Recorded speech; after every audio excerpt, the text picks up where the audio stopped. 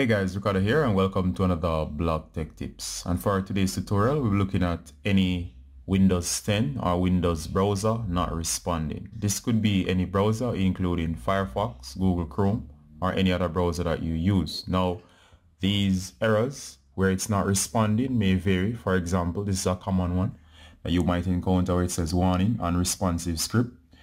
Scripts on this page is busy. It may have stopped responding. You can stop the script now or you can continue to see if the scripts will complete.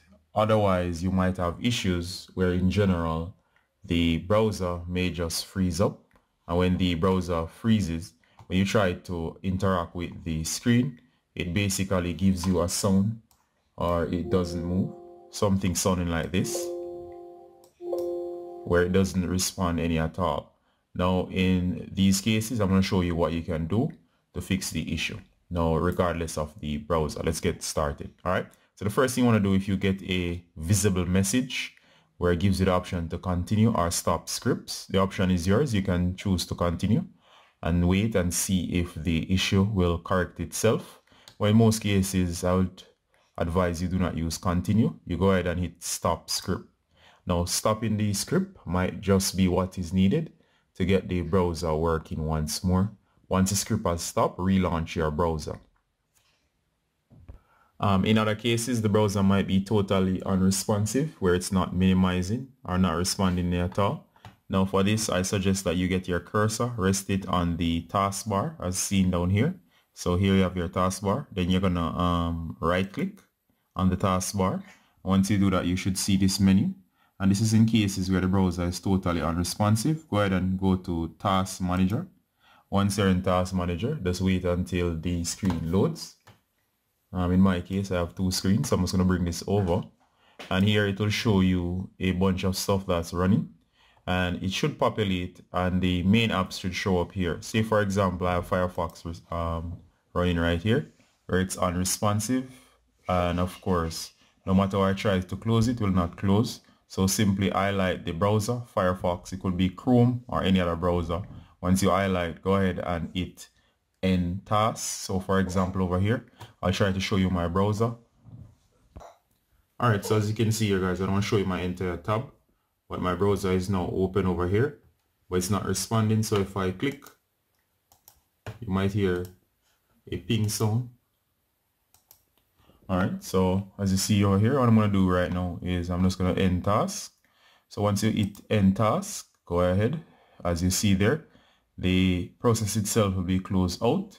And all you have to do in those cases is simply close the task manager.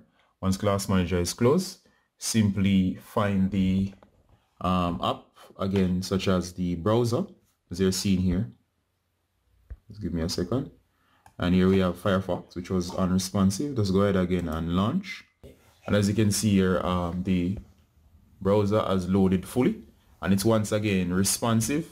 So as you can see here I can do several things including go to any website. So I'm just going to click on a website link. And notice once it was not responsive but now it's fully responsive again.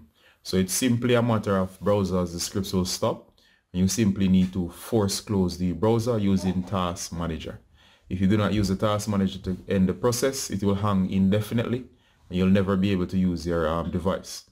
Now, the third and final step, if all else fails, is to give your PC a reboot. Now, um, most people do not reboot their PC and as a result, if you have your PC on for days at a time or months at a time, it can cause issues. So just go ahead and simply go to the start menu so let me just minimize right here. Then you're going to go to the start.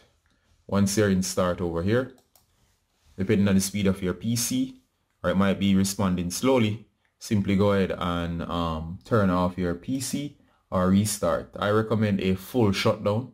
So go ahead and completely shut down. I'm not going to shut this down. But of course, once you reboot and you can have all the apps refresh, you can relaunch your browser again once more. It's also a good idea to clean your PC so if you have a cleaning tool, such as the one I use here, which is CCleaner, or any other PC maintenance tool, go ahead and clear the cache of your browsers or so on. By doing that, it will give your browsers a fresh restart. But do note that clearing the cache can also log you out of many websites.